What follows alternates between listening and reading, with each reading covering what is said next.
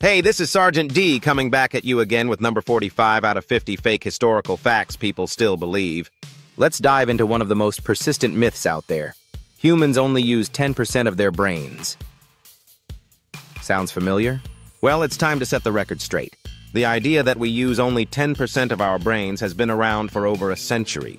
Some attribute it to misinterpretations of early neurological research, while others believe it emerged from self-help and motivational literature. In 1907, psychologist William James suggested that we are making use of only a small part of our possible mental and physical resources. This concept gained traction in the self-help movement of the 1920s and was further popularized by figures like Dale Carnegie. Over time, the vague idea of untapped potential was misrepresented as the precise claim that we use only 10% of our brains.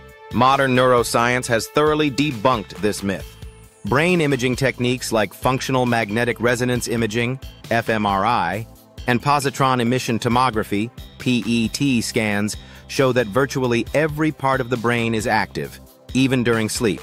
Neurologist Barry Gordon states, we use virtually every part of the brain, and that, most of the brain is active almost all the time. Furthermore, if 90% of the brain were unused, injuries to those areas would have little effect. However, damage to even small regions can result in significant impairments, indicating that all parts of the brain have functions. So why does this myth continue to thrive?